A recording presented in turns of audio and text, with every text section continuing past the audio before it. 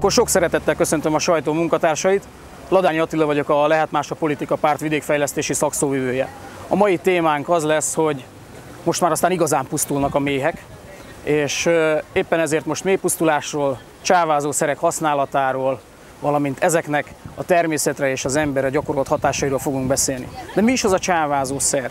A csávázó szer egy, egy vegyi anyag, egy olyan vegyi anyag, amit arra használnak, hogy a vetőmagokat megvédjék a különböző kórokozóktól és kártevőktől. Kiderült ezekről a csávázó szerekről, hogy van közöttük olyan, amelyik 19 évig mérgezi a talajt, és ez egy rendkívüli hosszú lebomlási idő. Annak fényében pedig különösen hosszú, hogy a méhekre és más növényeket beporzó ö, rovarok számára ez halálos méreg tud lenni. A mai sajtótájékoztatónak a célja az, hogy elmondjuk mindenkinek, a kormánynak is, a kormánypárti képviselőknek is, hogy Magyarországon ez a vegyszer, ez nagyon minimális felhasználásban van jelen a piacon, tehát ennek a betiltása üzleti érdeket Magyarországon nem sért.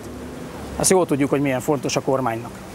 És mivel üzleti érdeket nem sértünk, ezért a magyar élelmiszerfogyasztók, a magyar vidék és a magyar méhek érdekeit kell szem előtt tartani elsősorban. Hiszen Magyarország az Európai Unió egyik legnagyobb méztermelő országa.